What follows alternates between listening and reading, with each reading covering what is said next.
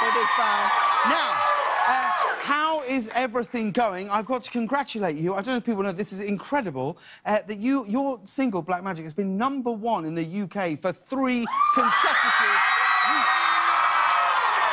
Incredible, right? Amazing. Isn't yeah. it amazing? It's surreal. Amazing. Yeah. yeah. Literally, yeah. We've come over here and we've had the most amazing reaction. Yeah. And we did Teen Choice Awards yesterday. And you won an award last night. American Award. So we just feel So your so first ever. American award. Yeah. But things are going great. And but listen to this. I want to read this because I was. This is an amazing stat. You've had uh, two top ten albums here in the US already, and the first one broke the Spice Girls record on Billboard for top debut of a girl band. It's incredible. Did you ever think? Did you ever think, Jade, that, that when you came to America that you'd be embraced in such an incredible way? Well, I think we knew we had like a lot of fans, didn't we? Because we always saw on like Twitter and Facebook and everything. But it wasn't until we got here when we realised like how many we had. It was crazy. And then when it charted at like four, Yeah. we just couldn't believe it. We thought we were being uh, pranked. Yeah. You're being punked, yeah. But things are going so in incredibly well. Now, Perrie, I want switch, switch, please. Come here. I want to make sure.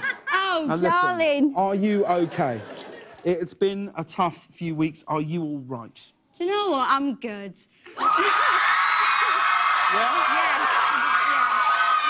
having an absolute blast in America. Things are going so well, and I just wake up every day and I thank my lucky stars I have these three girls. Look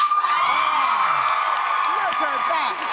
Now, you say three girls. Yeah. You say three girls, and they, they've really got you through this, right? They've got you through everything, these three. Yeah. But you could have four, because last night you were on stage with Taylor Swift.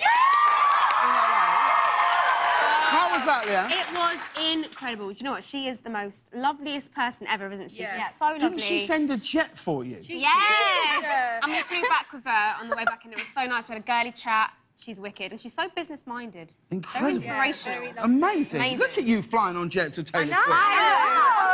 Unbelievable. It's Nothing every day for absolutely incredible. And you've got a, an amazing performance right here in the studio for us after this.